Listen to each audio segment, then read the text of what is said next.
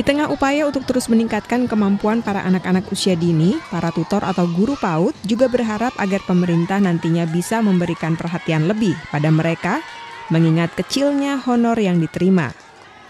Setiap tiga bulan sekali, para tutor atau guru PAUD mendapatkan insentif sebesar Rp300.000 dan itu dialokasikan hanya untuk satu orang tutor saja. Padahal dalam satu PAUD minimal terdapat lima guru. Sehingga pada prakteknya, honor insentif kemudian dibagi rata. Sementara dari siswa sendiri, mereka hanya ditarik mulai Rp1.000 hingga Rp2.000 untuk sekali datang. Sebetulnya kalau pemerintah mau konsekuen bahwa kami yang ada di lapangan memang kesulitan masalah dana, terutama masalah eh, tentang kegiatan belajar dan mengajar PAUD. Karena memang PAUD sendiri yang ada di pelosok seperti di daerah Kecamatan Puring ini berawal dari kesertaan peran serta masyarakat yang tinggi.